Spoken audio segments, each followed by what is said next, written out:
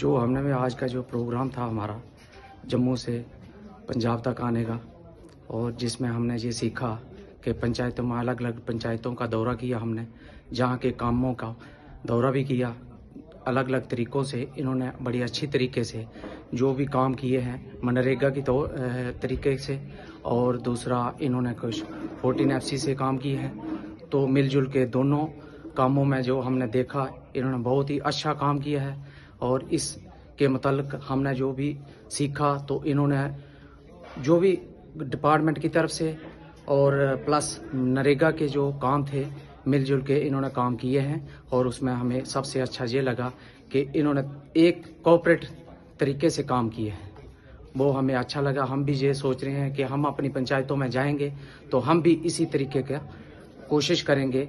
हमारा भी ऐसा ही पंचायत घर हो, चाहे कोई बोली हो, चाहे कोई पाड़ हो तो इस तरीके के हम कोशिश करेंगे कि इससे बेहतर से बेहतर हम भी बनाएँगे।